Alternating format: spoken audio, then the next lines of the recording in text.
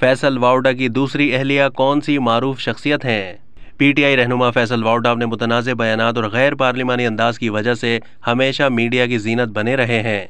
तहम इस बार उनकी एक प्रेस कॉन्फ्रेंस से पीटीआई क्यादत बरहम हो गई और लॉन्ग मार्च को खूनी करार देने पर उनकी पार्टी रुकनीत मअतल कर दी गई।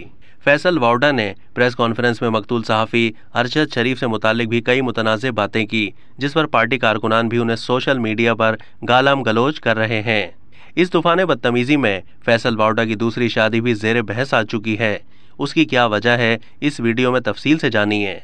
फैसल वाउडा की दूसरी शादी एक एंकर पर्सन के साथ हुई, जिसका इंकशाफ साल 2021 में तब हुआ, जब उन्होंने सेनेट इलेक्शन के लिए एक हल्फनामा जमा करवाया, जिसमें उनकी दोनों बीवियों और तीन बेटियों के नाम दर्ज थे।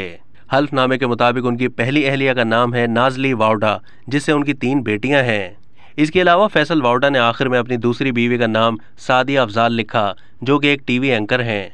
इसी साल फैसल वाउडा सेनेट इलेक्शन जीत गए थे, जिसके बाद एंकर पर्सन सादी अफजाल ने ट्विटर पर फैसल वाउडा के साथ अपनी एक तस्वीर पोस्ट की और सेनेटर मुंतखब होने पर उन्हें मुबारकबाद पेश की, जिसके बाद सोशल मीडिया पर एक तूफ़ान बर्पा हो गया कि फैसल वाउडा ने खुफिया अंदाज में दूसरी शादी कर ली। और इसी पोस्ट पर लोगों ने सादी अफजाल को शादी की मुबारकबाद भी दी, ताहम उन्होंने रद्द अमल में इसकी ना तो तरदीद की और ना ही तस्दीक।